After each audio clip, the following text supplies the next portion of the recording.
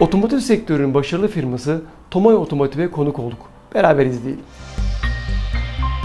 Sevgili izleyicilerimiz Altın Rehber programında Denizli gezintimize tüm hızımızla devam ederken ve güzel ilçelerinden bir tanesinde ziyaret edelim istedik ve şu anda kaledeyiz ve kaleyi ziyaret ediyoruz ve kalenin de gerçekten güler yüzlü, tatlı dilli ve aynı zamanda da meşhur bir güreşçisiyle sizleri tanıştıracağım.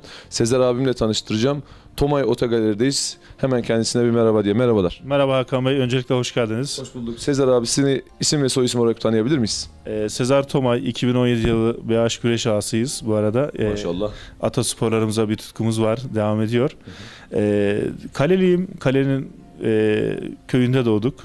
Kalede hizmet veriyoruz halka. Otomotiv sektöründeyiz. 2015 yılı itibariyle başladık ticarete. Tabii buradaki amacımız e, kaliteli hizmet, e, güvenilir bir adres olmak. Yani otomotiv sektöründe bildiğiniz üzere çok şeyler dönüyor. Yani burada biz Kaleli veya Denizli Türkiye genelinde e, oto alım satımlarımız gerçekleşiyor. Bunlar da gayet şeffaf, temiz ve güvenilir e, sözünün arkasında olan bir esnaf olmak bizim amacımız.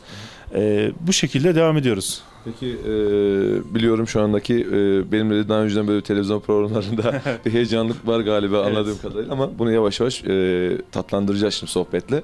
Peki e, şöyle bir sorum olacak sizlere. Tomay Oto e, nasıl bir hizmet veriyor kaleden tüm Türkiye'ye? E, Tomay Oto yani güvenilir bir hizmet olmak için şimdi çok değişik şekilde araçlar oluyor muhakkak ama e, bizim buradaki hani amacımız temiz olmak. E, ne bileyim hasar durumları.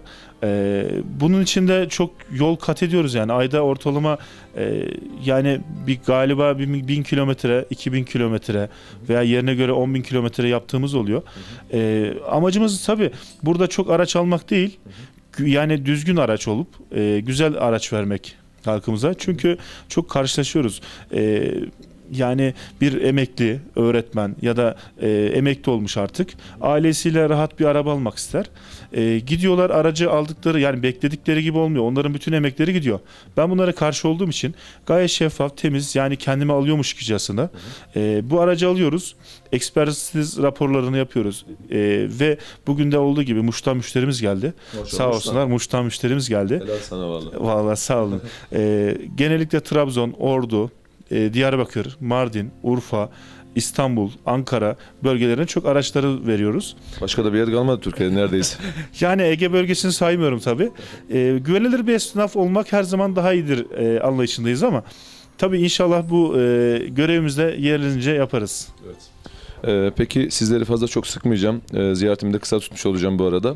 Son olarak Altın Rehber programında şu anda konuksunuz. Bizler de sizlere konuğuz. teşekkür Ee, neler söylemek istersiniz Altın Rehber e, izleyicilerine? Nasıl bir mesaj gönderelim tüm Türkiye'ye ve tüm dünyaya? Ya öncelikle güven. Ee, insanların güven konusu çok önemlidir. Yani birileri birine güvenmişse bu muhakkak e, kötüye kullanılmamalı. Yani biri itimat etmişse ben sektörümle alakalı diyorum. Ee, olmamalı dürüstlük, saygınlık.